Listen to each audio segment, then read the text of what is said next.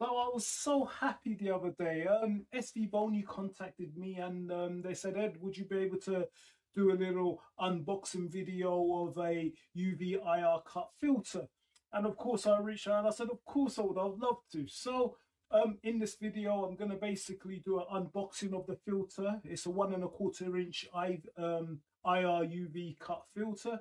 And I'm also going to show you a before and after effects of using a UV IR filter. Now, originally I was going to go out and do some astrophotography, but due to some technical issues, I couldn't get my camera to work and I spent four hours out there and I couldn't get the camera to focus. So I'll have to do that at a later stage. But today, what I have for you is some terrestrial images taken with a UV and IR filter, and perhaps they came out even better than what you would have expected from an astrophotography point of view.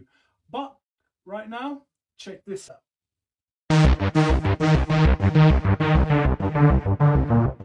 So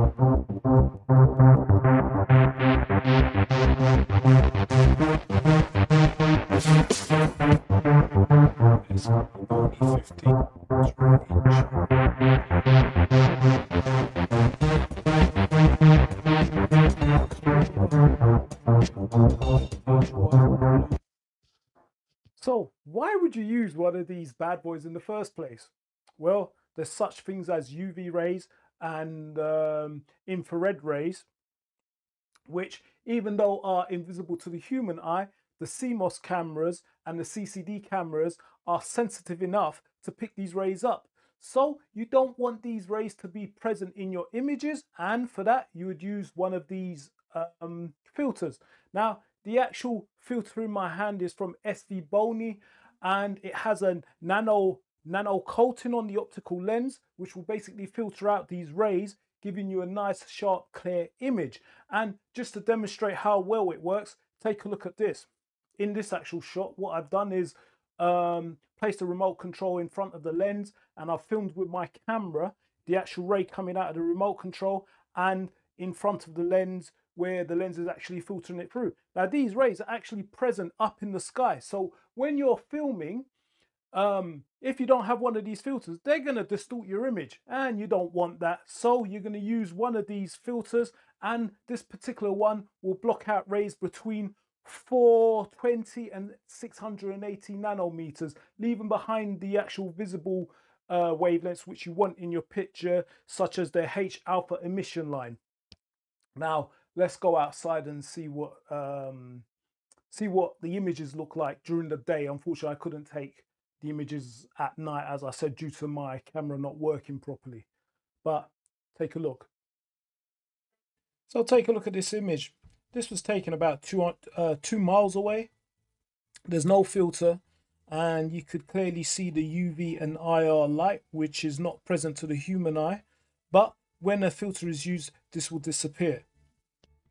Now take a look at the uh, same image. This is with uh, the UV IR uh, filter and the light is actually gone. There's a slight green um, haze over the image, but this could be removed using some sort of imaging processing software. So there you have it.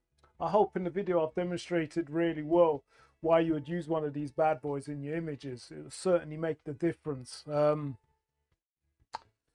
I I really enjoyed uh, shining the remote control through it also and seeing the difference that actually makes. So it actually proves that it actually worked.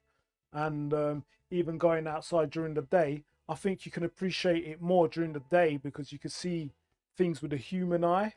You can see the difference of filming with the camera and filming um, without the IR filter because basically when you're looking at the object with the human eye, you can't see this light bouncing off of the mask. It, it, looked really clear. But once you filmed it and then you looked at the image that was produced, there was all this light and you was thinking, but it wasn't that bright. How comes this is showing up in, in, in my image, destroying my image? And then once you added this, yeah, you get that green glare, but you could process that stuff out.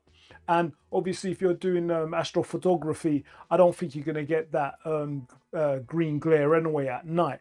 But the uh, white light, that white light will, will remain and you might want to get rid of it depending on what you're doing. So anyway look if you like the uh, video please like and subscribe and i've left some links below the video where you can actually purchase this uh, filter from. And if you have any comments or suggestions then go ahead please educate me. I'm still learning. I'm always learning. It's a never ending process and i'm always looking at new things.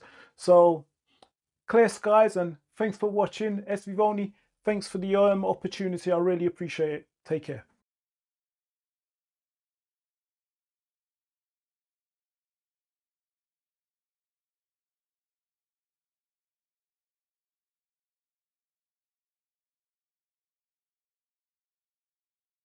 Perfect.